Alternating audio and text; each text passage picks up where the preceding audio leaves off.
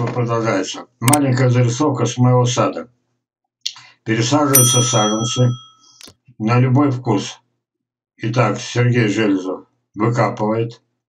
Вот. Вот что значит назолистые руки, все своими руками. Агроном, правда, науки не нужный. Вот. Водитель крана, да, на заводе крановщик, да. Родина не могла обойтись без крановщика. А без садовода смогла. Так вот, он сейчас выкопает саженец, потом они его разрежут в горшок и посадят навсегда. Вот. А вот этот ближний уже я приглядел. Почему? Потому что он должен был бы под топор пойти. Продан не, не, не смог Сергей его продать. Ну, подумаешь, там выдающие сорта кому не нужны. Вот. А на следующий год он будет трехметровый, вот как они растут. Вот. Ну, естественно, я его прибрал. Вот. Потом я рассказываю, вот эта картинка почему? Потому что это все равно должны знать все. Вот смотрите. Вот этот кривой горбатый тоже не купили. Я говорю, Сергей, что ты будешь с ним делать? Он говорит, срублю через полчаса. Он уже сидел на постоянном месте. Видели? Видели. Идем дальше. Ну, вроде бы грустно, а, а, а все равно смеемся, да? Вот. Вот это вот годом раньше я посадил. Он тоже был двухлеткой. Так. А у меня простых сортов нет ни одного. Вот. Ну, в том году посадил. А в этом году, а, а это учеба, учеба, а вот она обрезка по железову. Здесь был хороший ком земли. Вот, ну, хоть у нас и холодина стояла, но помаленечку проснулся. Видели, как это выглядит? Теперь, никаких долбанных вот этих, видели, вот эта ветка должна быть отрезана. Я вам сейчас покажу. Внимание. Может, про учебу. Вот это вот, вот этот тихий ужас сейчас вы увидите. Погода, погода.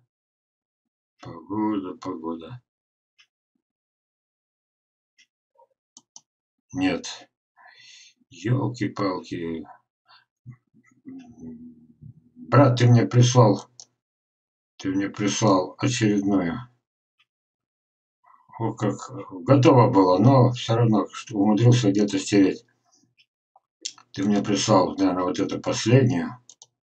Вот. Сейчас посмотрим. Я просто сравниваю, показываю. Ага, вот она. Смотрите. Я остановил. Это фильм. Я остановил. Вот здесь вот слева мужик, который прицелился секатором. Сейчас он подойдет, отрежет нижние ветки, вот эти вот, видите? Вот. Откуда ему знать, что они кормят не, не крону, вот, а корни? Ну где же ему? Вы-то знаете, а он нет. Но он будет учить, он будет учить всю страну.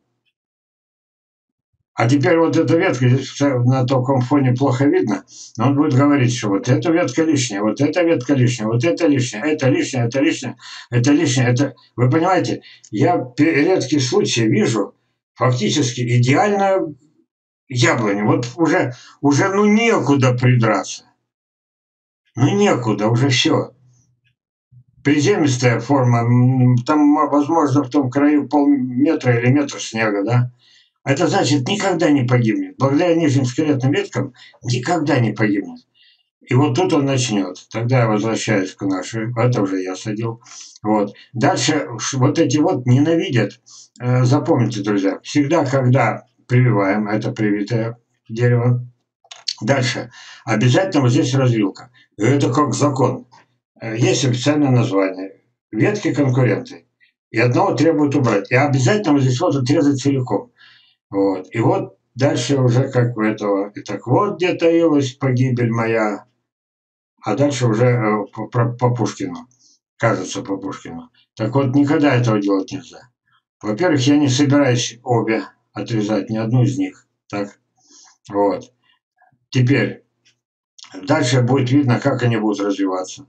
Потому что бывает так, одну отрежешь, другая сдохла. Но бывает же, понимаете? Вот. Впереди видно будет, что с ним дальше делать. Если потребуется какая-то, знаете, какая-то чуть-чуть формирующая обрезка, то ни в коем случае вот это отрезать нельзя. Вот так вот. Ну и еще. Почему вот эти вот заставляют отрезать? Сейчас. первый год, как правило, э, очень э, приживается саженец. У него, как правило, видите, тонкие веточки, скелетные, но тонкие. Так? А на второй год погнали вот, уже настоящие. И это часто бывает, и даже на схемах, только те, кто э, не думают ни о чем, они видят, что нижние скелетные ветки меньше.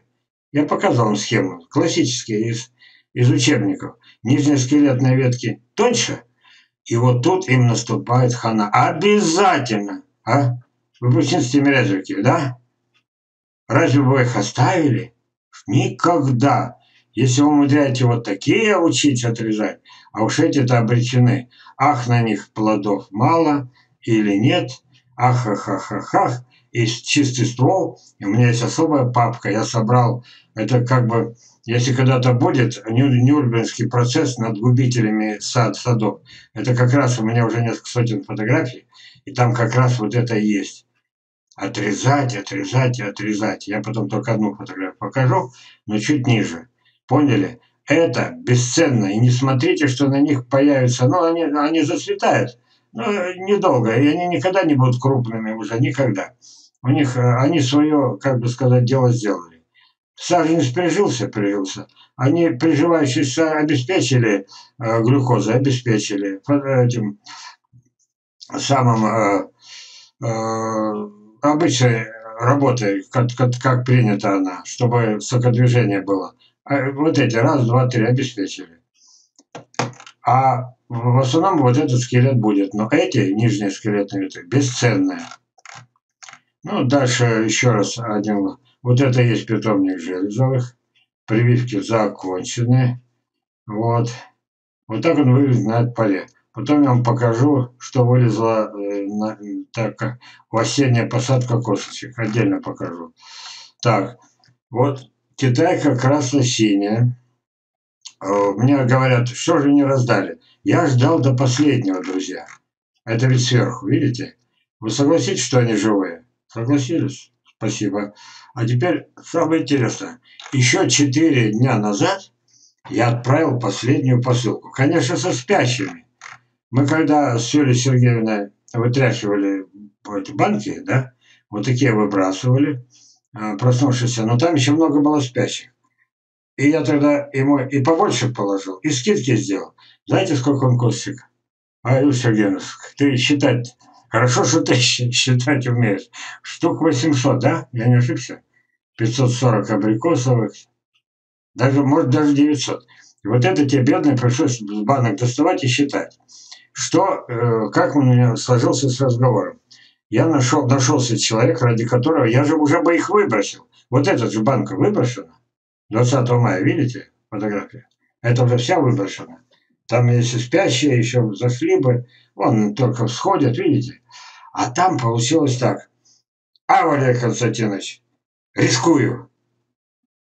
И вот если с 800 косточек и этих самых там, ну, там еще 300 этих самых вишен, слив, что там только нет, кроме 540 э, абрикосовых, да? Вы представляете, он за все отдал 8 тысяч, да? Я еще раз, я уже раз говорил, но не здесь, не на вебинаре, а в каком-то фильме, помните? Я вот это в шоке. Присылает мне ссылку, я подробно изучил и в двух фильмах рассказал. Людмила, помните? наша соотечественница, живет в Финляндии, она присылает ссылку, а там питомник, вот. Причем питомник странный. редкий случай, у них есть сад. Яблоневый сад. И извините за выражение, время так специальное было, для, когда они должны были бы валиться все от яблонь. А они не валят. А яблонь-то урожая практически нет. Зато черенков Настоящий маточный сад. Ну, подумай, что яблонь нет. Но главное, что черенков тысячи. И они делали на, на моих глазах, я ролик смотрел, тысячи прививок, крупные планы, я комментировал, вспоминаю. Вот. Все, конечно, вы не могли видеть, но кто-то видел эти мои, с моими комментариями, как они делают прививки за столом. Потом все это высаживается, потом трактором чик-чик-чик, все лишнее убирается, калечатся, потом искалеченная трех, двух-трехлетки высотой 3 метра, один саженец, переехав границу России, каждый, вот, недалеко, Финляндия и Питер. И в Питере по 8 тысяч. Вы думаете, если бы не брали, они бы по 8 тысяч, они бы в Питер не привезли бы? Привезли бы? Вот привезли, они стоят и умирают. Конечно, берут, это ежегодная работа. Итак, один саженец яблони искалеченный с метровым таким штампом. Помните, я специально мордой тыкал? Только не знаю кого, они же меня не слышат, эти финны. Метровый штамп. Все это еще вот так вот искалечено, потому что тракторная обработка. Вот даже крона искалечена. И 8 тысяч, а здесь за 8 тысяч цена одного причем непонятно, почему они с них еще не плодоносят эти. Маточи сам есть, но не плодоносят. И на эти 8 тысяч куплено будущее. А пусть каждый третий взойдет. Это штук 300. Это куда он денет это все? А вы знаете, что такое 300? Это гектар, как минимум. А если еще по научным этим, я, я 300 штук у меня уходило при посадке 5 на 4, а еще учат 6 на 8 и 8 на 10. Там уже 2-3 гектара надо. Те же абрикосы у меня огромными вырастают.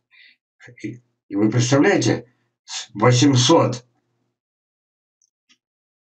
семян, косточек, за 8 тысяч, и один саженец искалеченной яблони за 8 тысяч. Ну, ну, не за меня гордитесь, за Россию гордитесь.